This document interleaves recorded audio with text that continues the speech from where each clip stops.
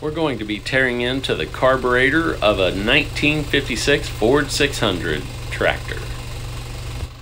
This tractor ran like a top, but it sat around without pure gas in it, and as you can see, it started acting up.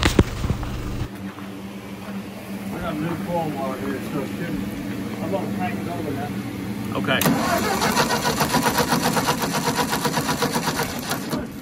Today's project 1956 Ford 600 carburetor.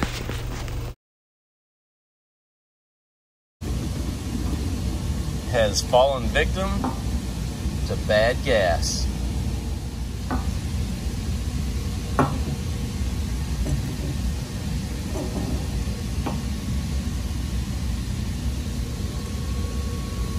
This gas smells terrible.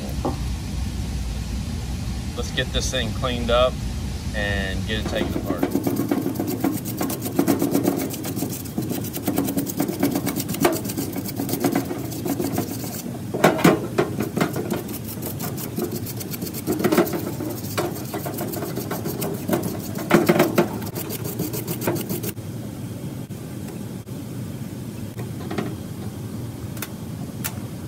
Different size screws there. This ethanol absorbs the moisture out of the air and it just wreaks havoc on your system.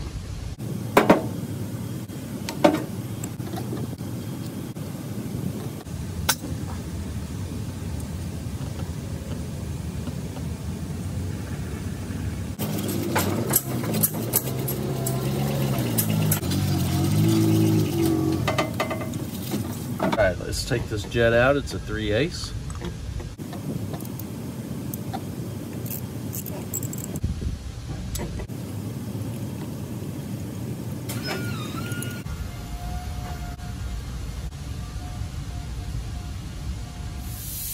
On your jets, you got little holes.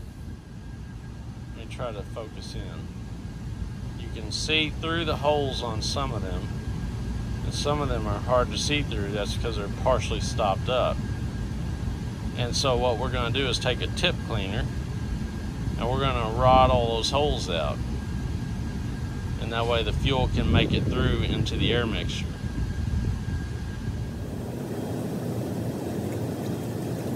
A guitar string will work, a wire brush poking wires through it will work. But you want to clean all of the holes.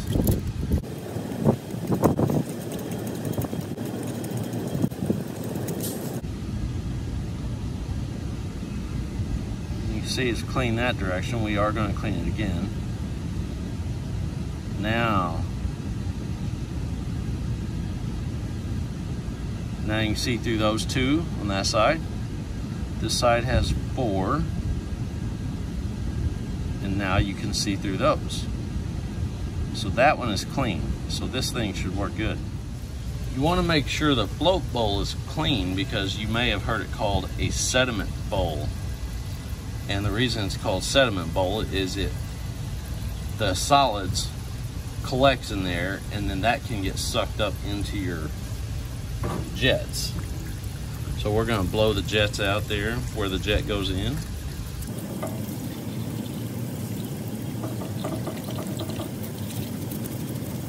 We're going to take this and this out.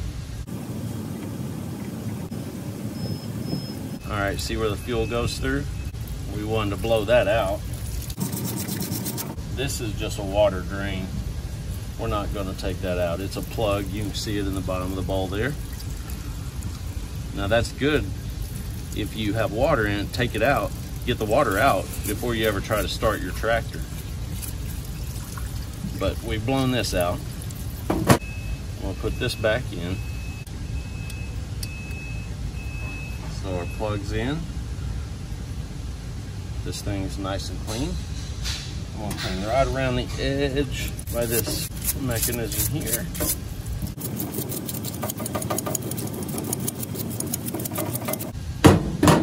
We're gonna put the jet back in.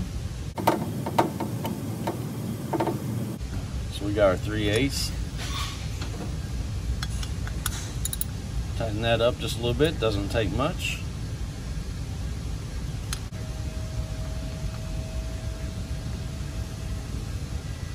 All right, that looks good.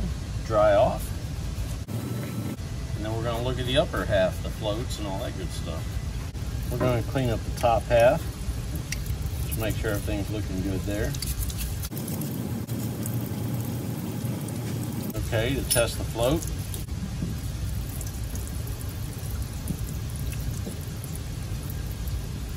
See how it's coming through?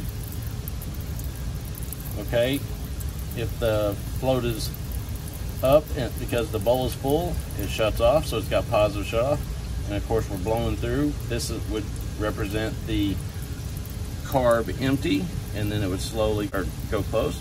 And the so the float is functioning correctly. I'll take this out.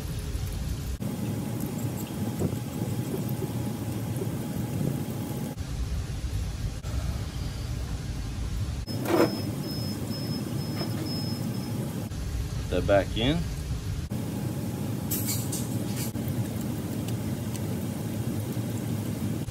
All right, so we know the float is shutting off properly. It looks good. Uh, put it back together. This this could use some new gaskets. Doing this for a friend named Harold. I don't know if he has new gaskets. For the sake of testing it, we're gonna fill the bowl with the cleaner.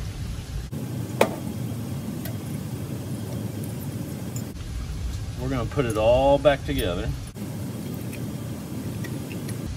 And we're going to use compressed air and we're going to blow through it and that will tell us if this in an application where it was actually running if it will pull fuel and that way we know ahead of time that we've got it working and don't waste our time putting it back on the tractor without it functioning.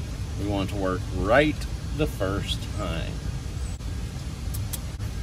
Do your future self a favor and use pure gas and you won't be tearing carburetors apart. Ethanol absorbs moisture out of the air and then it just becomes useless fuel because it no longer functions and then it just crystallizes and gets crap everywhere inside your carburetors.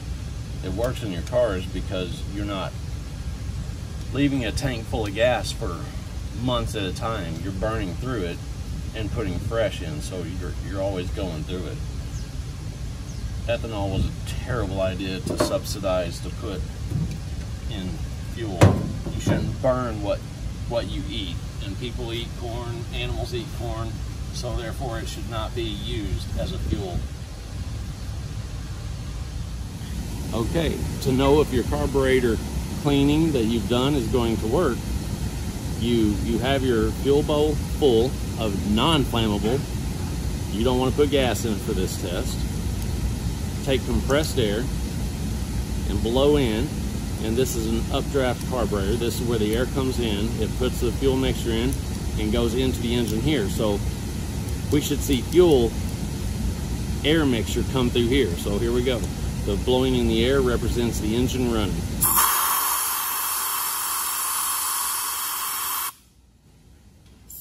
I'm going to do that in slow motion so you can see it better.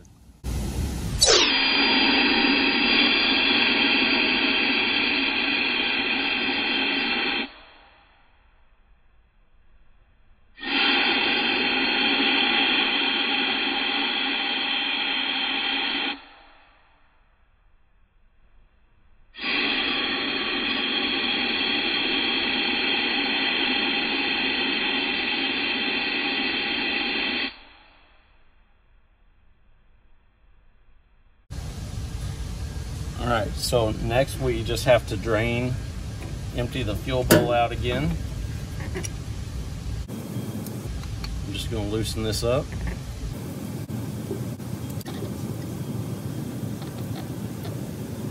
And we're draining the cleaner out.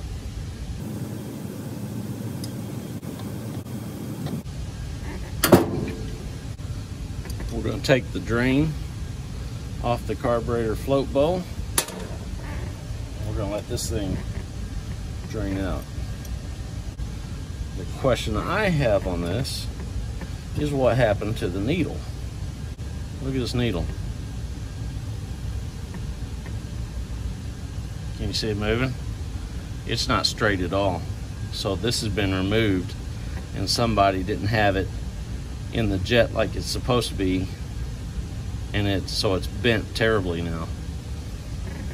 All right, so I'm rolling the jet and you can see it's it's bent. I've already straightened it out some and I'm showing you how I did it. So I went from an angle, this angle to be exact, rolled it, and then I would look and see where it would go high.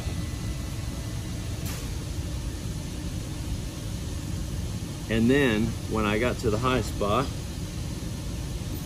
like right there's still a slight high spot. So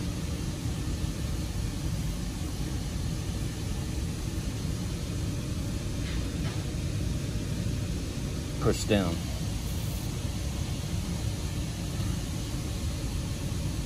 Oh, no, I went too far.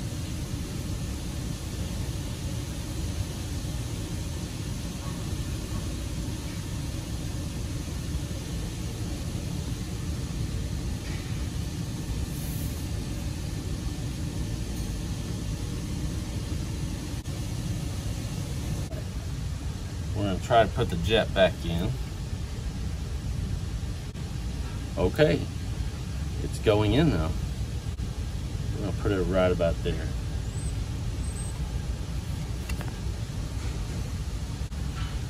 I'm to give Harold a call and tell him we're done with his carburetor. We're to clean his fuel filter, put it on the carburetor.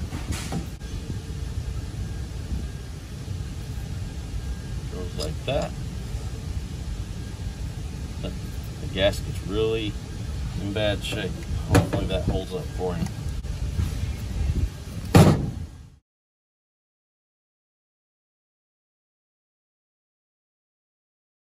Ready? Yeah. Go.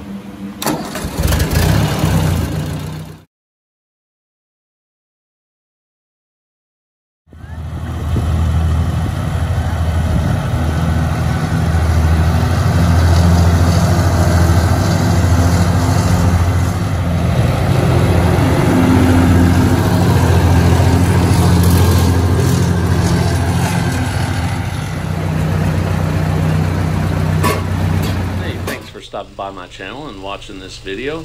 Don't forget to check out some of my other videos and like, share, and subscribe. Have a nice day.